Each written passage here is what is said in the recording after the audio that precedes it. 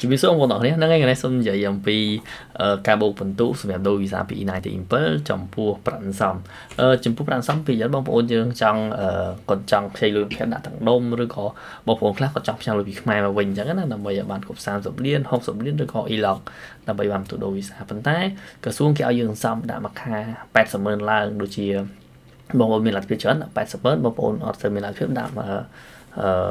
80ម៉ឺនដូចគ្នាប៉ុន្តែ80ម៉ឺនឡើងបងប្អូនឡើងដាក់90ម៉ឺនដាក់1លានឬក៏2លានតាមលទ្ធភាពទៅអឺក្រសួងគេកំណត់បើសិនជាបងប្អូនសំចាប់ពី2ឆ្នាំឡើងទៅបាន30លានអាហ្នឹងក្រសួងគេឲ្យ5បន្ទុក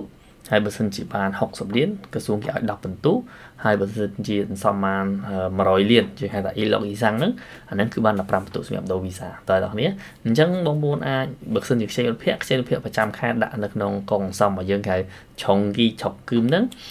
មួយខែ 2លានឬក៏មួយខែ1លាន50ឲ្យបាន2ឆ្នាំឡើងទៅហើយយើងសរុបមកបានប្រមាណអាហ្នឹងយើងយកទៅដាក់នៅកន្លែងតោហ៎អាហ្នឹងគឺគេឲ្យបន្ទុកយើងតាមអ្វីដែលយើងមានហ្នឹងហើយតើបងប្អូនប៉ុន្តែបើសិនជាខ្ចីគេមកដាក់ទាំងដុំឬក៏យើងផ្ញើពីខ្មែរមកទាំងដុំដាក់អាហ្នឹងគឺគេអត់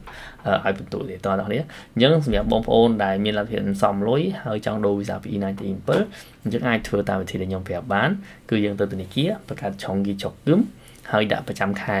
មួយខែ80ម៉ឺនឡើងទៅនោះបងប្អូននឹងទទួលបានបន្ទុកជាដូរវីសាហើយនៅអរគុណទាំងអស់នេះហើយមួយទៀតរាល់បងប្អូនដែលមានចង្អុលតទៅនឹងការដូរវីសា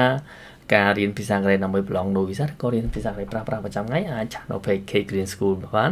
ខាងខ្ញុំនឹងប្រឹក្សាជូនក៏ដូចជាណែនាំសម្រាប់បងប្អូនដែរមានចង់ដូរវីសាផងដែរអរគុណជំរាបលា